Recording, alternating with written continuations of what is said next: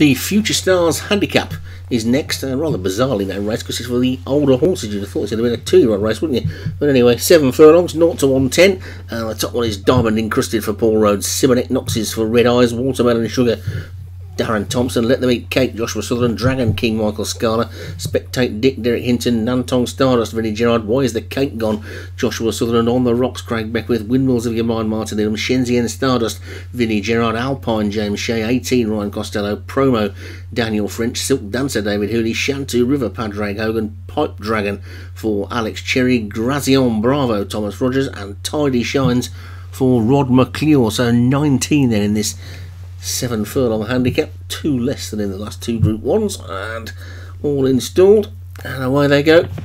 And who's going to be the first out? Looks like 18 might be one of the first to show. Let them eat cake is also close up, and so too is Dragon King and Silk Dancer and Promo trying to get it. looks like they're going to split into two, and we've got a split in there. We've got a freeze up again, so this is really getting past a joke now. These freeze ups, and it's 18 that's in the lead. This commentary is going to be well out of sync by the end, but we might as well finish it. Means it's only a flat race, and it's 18 in the lead then from Silk Dancer and Dragon King, then Shenzhen Stardust and Promo, and Let Them Eat Cake, Watermelon Sugar, Spectate Dicks after that, then Diamond Encrusted, but 18 is well clear as I'm passing the four furlong pole. Goodness knows where you are. And and Silk Dancer in second, Promo third, then Dragon King and Shenzhen Stardust. Why is the cake gone after that one? The grey Shenzhen Stardust is flying at the moment. Down on this near side, Dragon King, 18 still in the lead. 18's in the lead by about a length. There's plenty coming through the challenge. Tidy Shines, Dragon King, Shenzhen Stardust, Nantong Stardust also there as well. Why is the cake gone? Promo's trying to get into it. The only one totally out of it is Piper Dragon.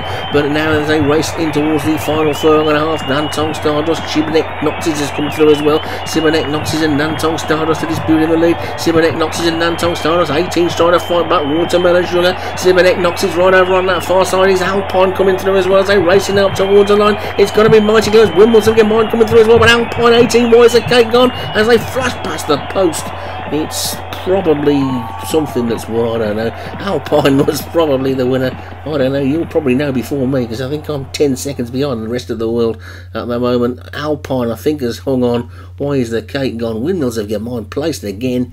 And there it is, Alpine for James Shea, the winner. Why is the cake gone second for Joshua Sutherland? Windmills of your mind for Martin Liddon was third. On the rocks for Craig Beckwith was fourth. And promo for Daniel French was fifth.